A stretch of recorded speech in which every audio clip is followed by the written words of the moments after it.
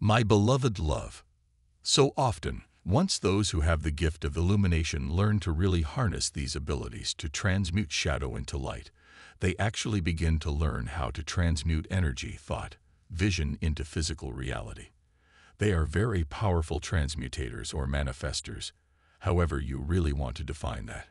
So it's almost like they experience both the highs and lows of the human experience, both the depths of the shadow and the radiance and brilliance of the light. And everything that they touch or perceive also carries much more vividness. To those who have this gift, in fact, from some perspective, you could say that those who have the gift of illumination are perceiving everything, emotions, the world, everything that they are sensing, picking up through their physical senses or through their emotions, which we could also call a physical sense. Anything that they are perceiving is being perceived with so much vividness.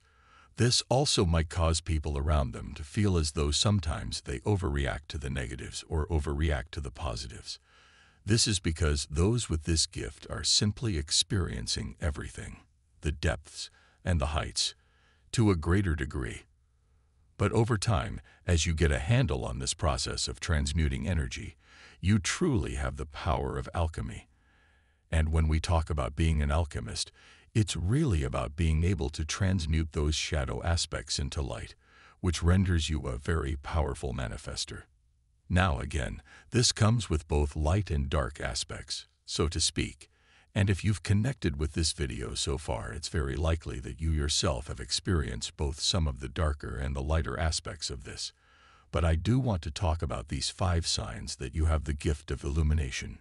Besides what we've talked about with the usual origins of this gift, these signs are actually more centered around the way in which other people might react to you or interact with you.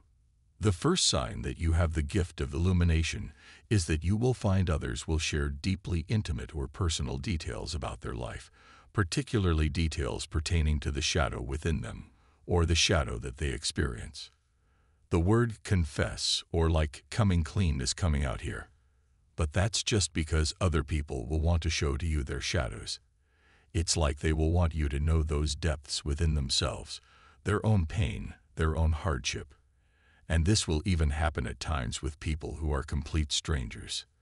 For this reason, very often those who have this gift find themselves absorbing or taking on a lot of the pain of other people.